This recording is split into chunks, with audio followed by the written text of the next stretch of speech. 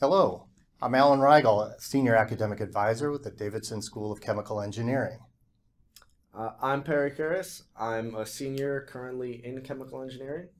And we appreciate your time and your interest in the school and learning a little bit more about what we have to say about curriculum, jobs, opportunities, and other things that students do within the school.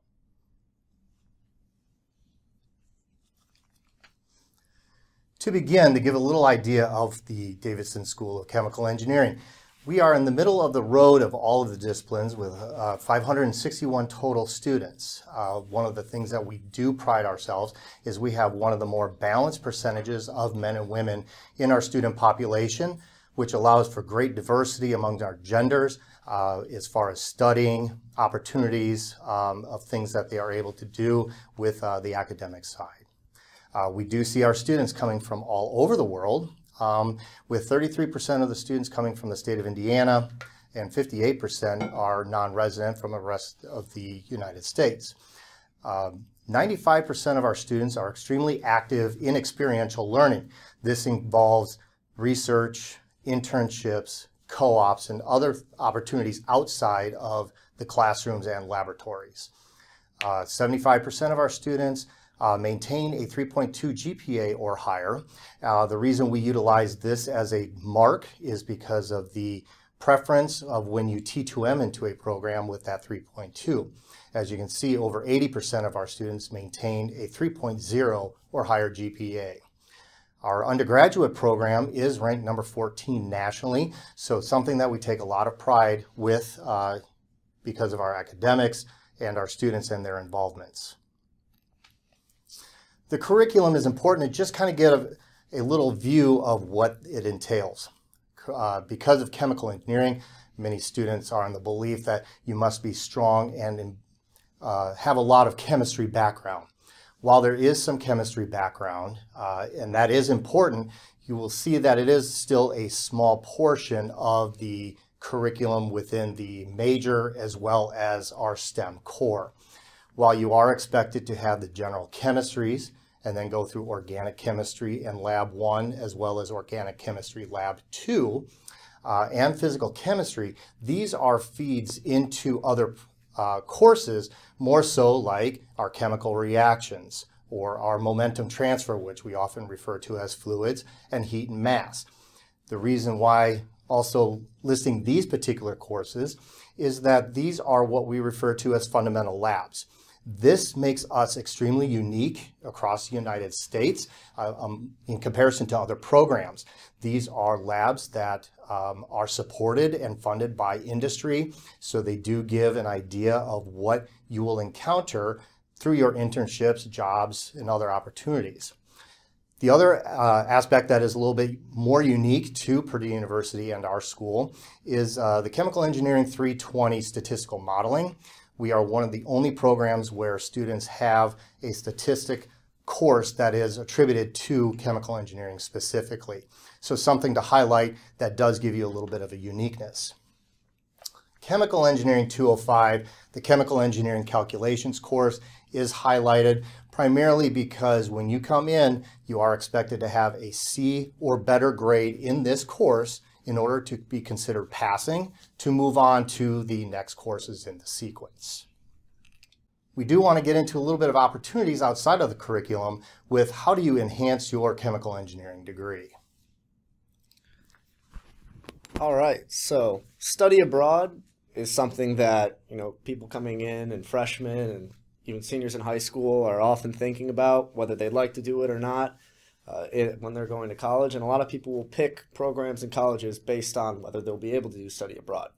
So we're happy to tell you that you are indeed able to do study abroad within our program. We do offer our major courses over study abroad. For example, I know a multitude of people, one of which went to London, another went to Germany in their second semester of junior year, where they were able to take the heat and mass class as well as our reactions class, which are two of our biggest courses abroad rather than having to stay here and going to study abroad on some less important courses. Uh, now, of course, there are a lot of study abroad programs at Purdue, so if you'd rather take all your major classes here and do study abroad in a smaller term, like a Maymester, Uh, there is the opportunity for that as well, though those likely will not count for ChemE major courses. Uh, as well, there are lists online you can find of all the different areas in the world that you can go. Uh, those flags on the bottom you can see are going to be just a sampling of some of them, but whichever language you'd like to be, whichever culture you'd like to be near, there are a lot of options for actually taking our major courses abroad. However, I will add that if this is something you're interested in, you would likely need to begin thinking about this in your freshman year or at the very latest at the beginning of your sophomore year when you're entering ChemE. Uh, in order to lay out your program so that you'll be able to complete all of your major courses, it's important that the ball gets rolling on this early so that it's not last minute and maybe some credits don't transfer. Maybe you have some issues if you do go abroad. So it's always a good idea, if you are interested in this, to get started with this early. Now, GEARE is a program uh, I'm not personally involved with, but I know many people who are, and they essentially prepare you to go study abroad in your junior year from freshman year. I do believe you take a language with that class, uh, with that program, uh, and overall, that kind of makes if you're interested in it, that will make your transition into going to study abroad a lot smoother than if it was tacked on a little bit later. As Perry was mentioning with the study abroad programs, a lot of that is focused on the fall and spring term programs, so a semester long. There are a number of opportunities to go for summer, spring break, and Maymester, so these are often referred to as short term. Uh, particularly with spring break, there's always one that goes through the Davidson School of Chemical Engineering, uh, focuses on pharmaceutical manufacturing, going to Ireland, as well as other opportunities. Um, these are faculty led and are small groups of maybe 20 students that go. So there is not yourself going to experience it on your own. And it may be 10 to 14 days, depending on when that trip is going. Um, and it could be for one, two, three credits for that one spring break or short summer uh, opportunity. There are some other longer summer opportunities where students may go uh, to Spain uh, to actually do some research, and those credits can be attributed differently as well. So there are numerous opportunities. We also really encourage students that if chemical engineering uh, is not offering a program that you wish to go to or a country of the destination, there are numerous opportunities to continue uh, looking across the campus, and we encourage you to uh, take advantage of those so that you get some kind of experience abroad, which is looked upon highly by recruiters of companies because it does show your worldwide experience. So research is also going to be a really major component of student involvement in ChemE, as well as something that's great to get hands-on learning for yourself and put on your resume. So, as mentioned previously, about 75% of students get experiential learning. Now, not all of that is going to be research. But research is going to be a major, major part of it. It's very easy to get involved with research. Uh, there's a link on there at the top right that will lead you to the website where you can check out Purdue, Purdue Davidson School of Chemical Engineering research topics, which professors are looking for students, and what those projects are. Uh, essentially, all you're going to have to do to get involved is email a professor. You can actually do it as soon as freshman year in my lab that I've worked in for the past couple years, uh, we've had kind of every year a freshman who thinks they're going to be in ChemE. Uh, we even had a freshman who didn't end up going in ChemE, who still was working in our ChemE lab. So you do not actually need to be in the program yet to participate in research in chemical engineering. Now, as far as what you can do in research, it's going to depend highly on the project that you're working on.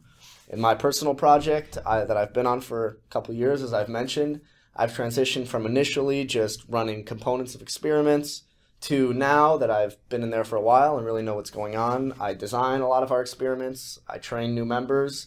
Uh, I kind of do a little outreach to get new members. So there's a lot that you can expand in your role there that are going to be applicable uh, skills for a job. Or if you're going into grad school, academia, it's going to be even more applicable than it would be to a job generally. So there's lots and lots of topics that you can do research in. Those are kind of listed there as far as you know, polymers and fluids all the way to computer simulation. Those are going to be a lot of reaction chemistry, but done through computers. Uh, personally, I work with biodiesel.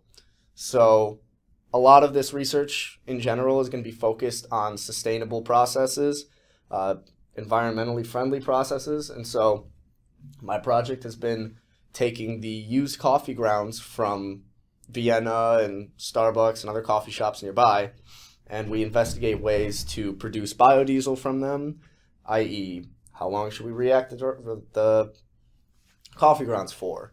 What should we use as a solvent? What catalyst might work? Uh, what yields might, might we be looking at, and how can we increase those and moderate those to what we'd like, as well as doing analysis to see whether we're getting the right kinds of products. So you can, and I know a lot of people who do this, stay with the same research and go for years like I have, but there's also a lot of opportunities to hop around between research. If you join a lab and it's really not your thing after a semester or two, you can just as well go join another lab, see if that aligns a lot more with your interests and kind of the skills that you want to develop. As I mentioned earlier, anything you're doing in this lab is going to be a lot of personal development for you, especially if you haven't had this kind of experience before when you're going into a job, any of that organization you've been learning in your research lab, any of that design of experiment, uh, how you analyze things, and how you choose to pre present things in reports and presentations will all be applicable in an industry setting, as well as if you're going on further into ac academia. As well, if you're going further into academia, research is essentially a must have. So, whether you know if you're going to do academia or not, it's always valuable to start research as soon as you can just to see if maybe it's something you like and it changes your mind and you decide to go to academia. Or maybe you just pick up some skills and you have some fun researching something that's interesting and there's a lot of room for development. Personally, I will not be going into academia, but I've stayed with this lab for a couple years uh, and I really enjoy it. It's a great time. I've developed a great uh, relationship with my professor that I work with and it's led to a lot of connections and skills that I've developed that have gotten me to where I'll be going next year. As Perry alluded to, with research, uh, academically, uh, it is encouraged. Uh, we have about 35% of our student population that has done research at some point in the Davidson School of Chemical Engineering but it's not limited to just our school, even though we have numerous opportunities because of our 45 plus faculty. Uh, a large percentage of them work with undergraduates in these groups and are highly encouraged to do so. Uh, but we do have students that have gone through other departments or schools on campus, such as the College of Pharmacy, maybe the School of uh, Electrical Engineering, uh, Nuclear Engineering, Department of Chemistry and have taken their chemical engineering processes and other ideas and have merged the two opportunities together to uh, experience another area and other faculty across campus. So it is not just limited to what you do in our program. Um, credits are something that our students will do for the research. Um, credits is affiliated with how many hours per week are you putting into the lab, and that is determined uh, with you and your faculty member. Uh, on the curriculum, you may earn up to six total credits of chemical engineering research and have that apply to different areas on your chemical engineering major with the selective as well as in the engineering selective um, and have the application that way. Again, this is something that all students should really consider. Utilize our website to look at the different research areas if you have an idea of what you'd like to look at, as well as a listing of all of our faculty and the projects that they're currently working on. So that might help you pinpoint who you would like to reach out to. Um, so please do that. And it is uh, something that really enhances your understanding of what you're learning in the classroom and putting that into something more applicable and experiential, and then taking that also into your classroom when you're hearing about theories and other fundamentals uh, of knowing this is what I have gone through. So a little bit about the cooperative program and internships. Um, in our particular school, uh, Dr. Gabriela Naj is the Director of Industrial Education, and she leads a lot of co-op callouts so that students can learn about the program itself. uh, get connected with some of the uh, companies of those that you see on the screen that participate in co-ops. A co-op is something that's actually run through the Office of Professional Practice. Um, and these are opportunities where you may be hired by a company, even as a second semester, freshman year in engineering, uh, to then work three or five rotational uh, work opportunities. Um, and while it does extend when you would actually graduate, the extension is based on work experience and going into the industry and hopefully alternating and flip flopping, if you will, an academic semester as well as a semester while working as well as in summers. This is a great opportunity.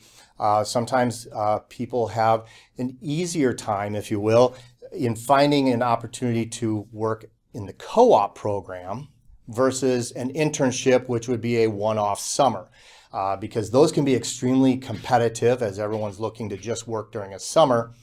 But with a co-op, a company is willing to take someone who's a little bit more green behind the ears, if you will, um, that doesn't have a lot of experience maybe in chemical engineering academics, but know that you're going to grow with the company and they're going to be able to teach you their processes and bringing you through different projects and you being able to grow with that company and their opportunities throughout time.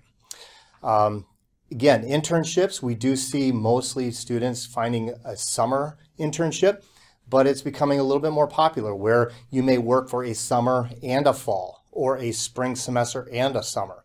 And then we have had some that have worked one year in total, uh, so a summer, fall, spring with one company and then come back and return uh, to the academics. The nice thing about internships, not only is the experience and the resume building and even being paid to learn, um, but it's the networking that you're going to receive and it's the ability to start applying the knowledge and material that you're gaining in your classroom and putting that into an industrial uh, setting. Um, and then bringing those experiences to then better understanding maybe what faculty are talking about in the classes because you will have been in that position before. And I'd like to add whether you're a freshman that's looking at going into chemical engineering or if you're going into any engineering major, these are going to be really valuable to you. So there's the Industrial Roundtable Fair in the fall and there's the Expo Fair in the spring, both of which are going to be very big opportunities to find an internship for the summer is generally going to be from IR, Industrial Roundtable, and a co-op, which is generally going to be from the Expo in the spring. At the School of Chemical Engineering here, we do have some resume tips and some interview help that you can get. Uh, we have staff on hand uh, that you can contact and go in and have your resume reviewed. If you don't really have a resume, you can get help with building it. You can also get help with answering interview questions, uh, figuring out what kind of questions you should ask in an interview, uh, as well as what kind of companies you should be looking for given your specific interests. And personally, I've taken very great advantage of these. It's made a world of a difference in terms of my ability to interview, as well as the resume that I'm putting out there and how to tailor it to each company that I'm interested in. Uh, so, again, internships, really look at these start as soon as you can and just try to learn about the process of getting one, what goes on at one, um, and how you can apply.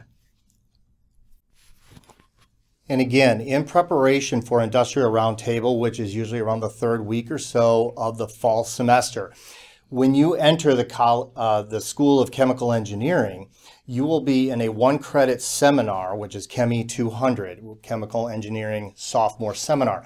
The first three weeks of this seminar, a lot of it is honed in on bringing those resources to you uh, to help you learn about building your resume, getting out to the Center for Career Opportunities, working with uh, Beverly Menser, who is uh, in our school specifically, uh, who will help with that and talk about building your resume. So the first couple of weeks are really dedicated to helping you as a new chemical engineering student be prepared for going into the industrial roundtable as it is such a large opportunity to get exposure to what kind of companies come here, what's the process like, doing an elevator pitch, having resumes on hand, So uh, we really try to help you in preparation at an early stage of your academic career.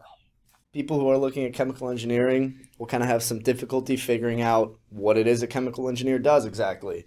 Uh, you would think it would be chemistry.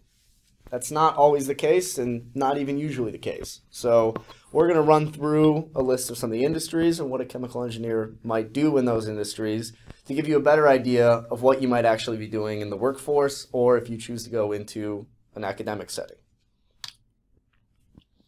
So here are the main six, but this list is always expanding and this doesn't even encapsulate, I would say, about half of what chemical engineers will be doing. Uh, so I'm going to run through each of these individually, consumer products, petroleum, food and beverages, energy and environment, biotech with pharmaceuticals, and high performance materials. But a lot of the companies, as we've mentioned, that you'll see at Industrial Roundtable when you're looking at internships, will belong to these categories. So it's great to get an introduction of them and see what you might be doing with a company that works in any of them. So, as far as consumer products go, these are, as in the name, products that are designed for the general consumer to buy at a store and use in their day-to-day life. These are not going to be chemical feedstocks. These are going to be end products. So one example right up there, there's a diaper. Uh, now, a lot of engineering actually goes into the formation of diapers and how they're made and their different properties that make them function, as well as different lotions and creams like you can see below, and paint on the right. Now, you may not even think initially that a chemical engineer is actively involved with this, or you may think, okay, these already exist. What is a chemical engineer going to do with these? As far as a chemical engineer goes, in a manufacturing process, i.e., the factory, the line where they're creating these, they're going to be optimizing the yields for each of these. So maybe you make a powder that goes into the diaper. You're going to optimize the production of that, make the possibility for more to be produced in a specific amount of time, uh, as well as removing impurities, making sure the project is completely up to standards and within code as far as the government and other company regulations may be concerned. As well, consumer products is a really interesting field because there's a lot of opportunities for research and development with chemical engineers here. Often, in a lot of the other fields we'll talk about, a person participating or a chemical engineer participating in research and development will have a doctorate. They'll have gone through a PhD program. In consumer products, there's a lot of opportunity to be involved in the research and development as even a fresh graduate from your bachelor's. Uh, and so Procter & Gamble is going to be one of the big companies that offers those opportunities uh, and that you'll see. It's a big name you'll see at Industrial Roundtable. But there's tons and tons of different companies. There's Sherwin-Williams for paint. Uh, Kimberly-Clark, as you can see, is that those diapers are from them, uh, as well as Lubrizol, which makes a whole lot of different products. Now, if you're interested in this field, uh, as I mentioned, there's going to be a lot of opportunities. This is a massive one of them. Uh, and whether you want to be involved on the manufacturing side or the research and development side, you're ultimately going to be helping make products that you know you will use. So you may make a new toothpaste and find next year, couple years on, that you're actually using it in your own home. So I think personally that that's really cool. Now, Petroleum is the industry a lot of people will typically think of when chemical engineers come to mind. Historically, petroleum was one of the major fields that chemical engineering as a field was created for. Uh, but today, this industry is a little bit smaller than it used to be, uh, but still has a massive presence. And it is not just drilling oil, bringing it out of the ground, and those kind of dirty processes that people think of when you think of petroleum. In fact, pretty much anything that you use in your day to day comes from petroleum. Your clothes may be made of polyester. That comes from petroleum. Any plastic that you can see in your room currently, made of petroleum. So chemical engineers are going to have an enormous amount of opportunities here in the petroleum industry. As I mentioned previously, a lot of roles are going to fall along the manufacturing side where you have a process, you're maintaining its operation, you're helping optimize it to make it run better. But also, there's a lot of opportunities here to design new facilities, design new processes, and take part in the kind of transformation of the industry as it looks to go more green. So, contrary to what many people may believe, obviously, petroleum is a generally dirty industry. If you're someone who's very environmentally inclined, if you're looking to tackle climate change, this is actually one of those industries that'll give you a great opportunity to do so. If you know you're looking at trying to make the environment better, you'd want to go look at the companies that are doing it the dirtiest currently, as they're the ones that are looking to optimize. So contrary to kind of popular belief, there's really tons and tons of great opportunities here to make the world cleaner and try and optimize how we're running all of our processes in the world to make it more sustainable uh, with less impact on the environment. Food and beverage. This is going to be kind of similar to consumer products. However, there's a big added constraint in that your products don't just have to sit on the shelf, they have to be edible. So you, can, you can't have many byproducts in them whatsoever. And also, there's a similarity in that research and development is not gatekept behind a PhD for this field, similarly to consumer products. So, as you can see on the left there, the packaging itself is going to be a big thing that chemical engineers do. Uh, the plastic formulation that's going to go into those, making sure that that packaging is effective, that it has a long shelf life, that it can keep everything there without plastic leaching into uh, your product, as well as the actual food. So engineer, engineers, chemical engineers, will help formulate new food, uh, change kind of what's being used to make it. Uh, they'll be involved in you know making it last longer, making it more shelf stable, um, as well as, if you're lucky, getting involved with making it taste good. Uh, there are some really interesting positions in this field where you can be something of a taste tester, determining whether things are good, what makes things taste good, and what we might add to make things taste better. This is going to kind of run in tandem with petroleum. However, unlike petroleum, which includes all the production of plastics along with energy, this is just going to be energy. Now, as the world kind of moves forward, we've been talking about sustainability a bit. Finding more renewable and sustainable energy is a huge concern, and it's a huge concern for chemical engineers who have the tool set and mindset to tackle problems involving that. So, hydrogen, wind power, solar panels, hydropower, and recycling to create more fuel and whatnot from what we already have rather than from uh, what we dig out of the ground is going to be big things that chemical engineers are working on. A multitude of projects fo- focused on all of these fields. Uh, recycling, you can see in the bottom right, that's one of our researchers here, Dr. Wang. Her project is focused a lot on taking old plastic and making it back into fuel so you can kind of take this garbage that we would just throw out into the world, reclaim it, and use it as fuel, kind of removing a step where it goes to the environment as a plastic, and instead finding a more efficient way to use it. As I mentioned previously, my research kind of runs along a similar line of using coffee grounds, which are just going to be waste, and turning them into uh, fuel, biodiesel. However, as I mentioned, hydrogen is a big thing. Actually, the senior design project this year is to work on designing a hydrogen plant that is net zero, uh, produces no emissions that aren't captured, and runs on clean electricity. Hydrogen burns clean, it doesn't produce carbon, and so it's another big opportunity that's growing across many companies for chemical engineers to work on and kind of design the processes surrounding it.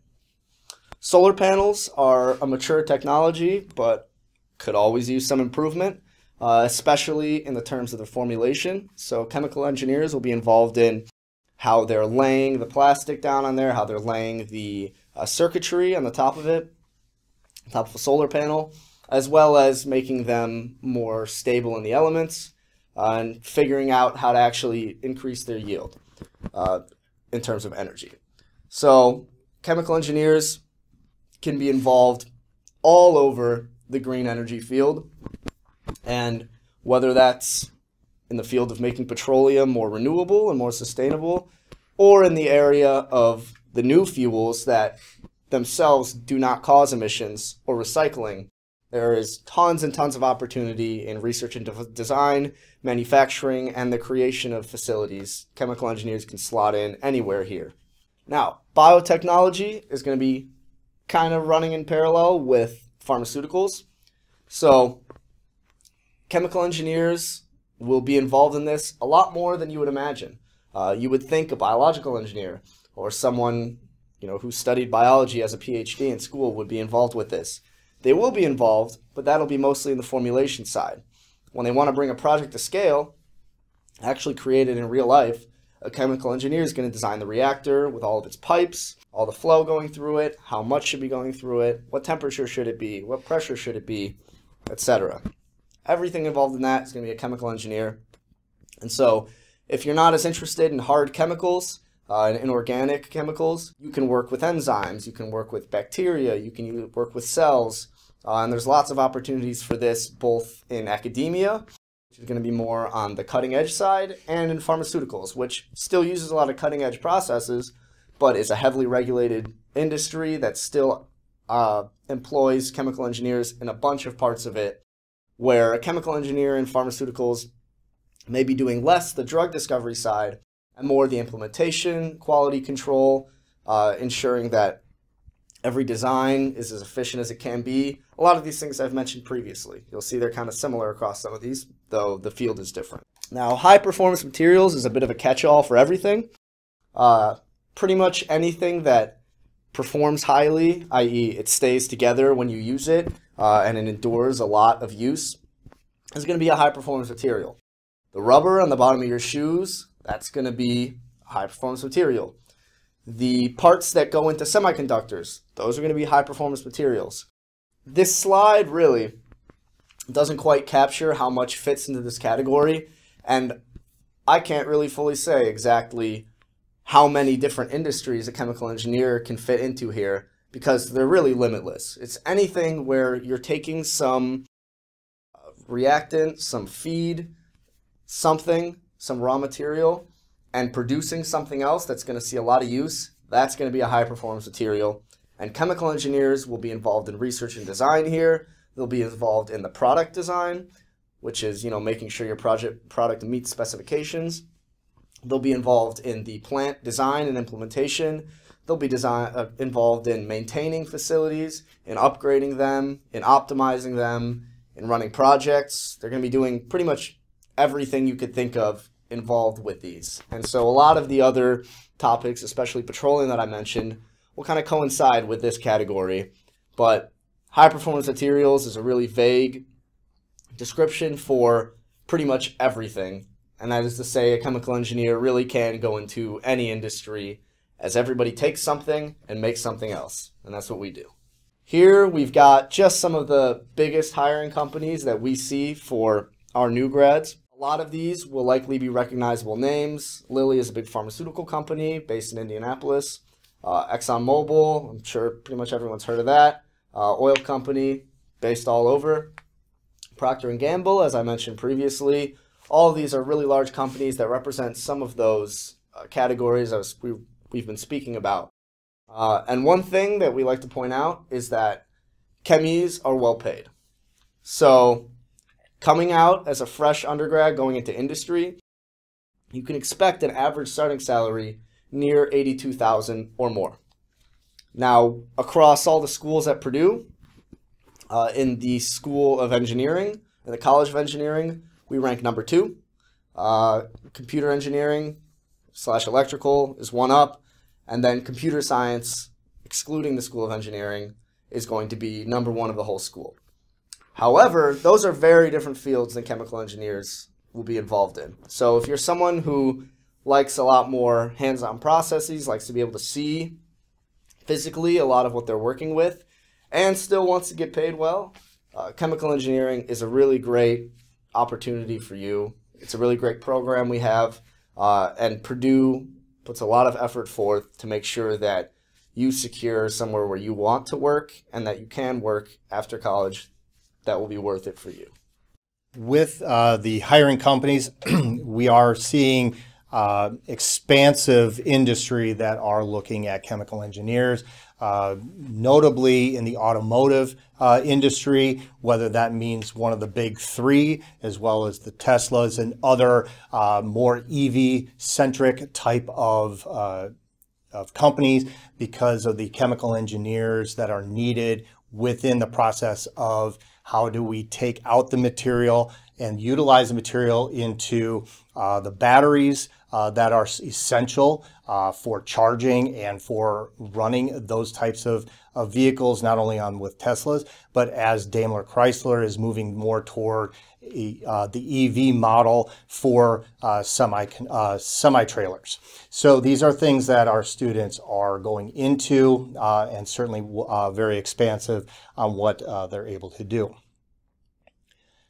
As far as being able to kind of keep in touch with the Davidson School of Chemical Engineering, you can always follow our Instagram where we kind of use this to promote any um, lecture series that are coming on campus, uh, academic opportunities as well as study abroad, uh, tutoring, things that will be helpful to our students to being successful students.